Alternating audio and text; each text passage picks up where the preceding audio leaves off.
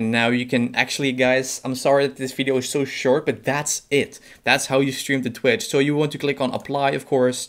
Uh, and then I would say, like, say for, like for output, you just want to make sure, I have a video like how to get the best settings. So make sure to go ahead and check out, check that out in the OBS playlist. What's happening guys, my name is Alex and welcome to a brand new video. So for today's video, I'm going to show you guys how to stream on Twitch with OBS Studio. So I would say, let's get started. Alright guys, so as you guys can see, we are on OBS uh, Studio. And the first thing that you want to do guys, and the first thing that you need is uh, a stream key. I'm not going to show you guys like the best settings, like how to stream in HD, 60 FPS, all that, no. I'm just going to show you guys how to stream to Twitch, only that. So the only thing you need to do is you want to go over to the settings button as always. And you want to click on settings settings. Then as you guys can see, you don't want to do anything in here in the general tab, but you want to go over to uh, stream. And right here, here are a few settings you need to uh, apply. So as you guys can see, stream type is just a normal streaming service, as you guys can see. Then the service right here, you want to pick Twitch. This is a video how to stream to Twitch, so it doesn't make sense if you want to pick YouTube. So you want to go ahead and pick Twitch. And then you just want to pick the server that's the closest to you, because what I did is I streamed uh, like once to San Francisco, which is for me on the other side of the world. What I did is I just picked, uh, let me see where it is. I would say Amsterdam. That's like uh, like an hour and a half driving, so that's just like the closest server uh, because I just kept dropping out at like San Francisco. So make sure to pick. I don't know where you guys live. Make sure to pick the you know the closest server, as you guys can see right here.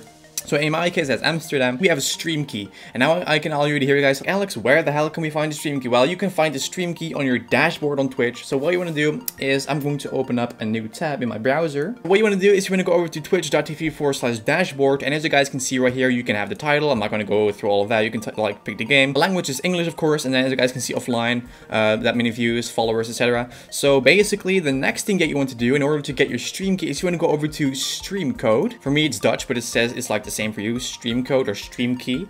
Then you want to click on that one and then as you guys can see it says all Dutch but what you want to do is you want to click on display code or like show uh, key. You want to click on that. Then as you guys can see it is a warning never share your stream key with anyone or show it on stream. Twitch staff, admins or global moderators will never ask for you for this information. Please click I understand if you want if you understand the above and would like to uh, view your stream key. So I want to mention guys if you share if, if people see this key they can fill it in their OBS and stream to your Twitch channel. So make sure you never show it so I'm just going to click on I understand. And of course, I'm going to blur this part. But what you want to do is you want to just, you know, select everything, press Control C. Then you want to go over back to OBS Studio. And what you want to do then is you want to fill in the stream key right here in this path as well i mean like in this in this little box so you just want to click on per, like control v and now you, like the stream key is filled in and now you can actually guys i'm sorry that this video is so short but that's it that's how you stream to Twitch. So you want to click on apply, of course, and then I would say, like, say for, like for output,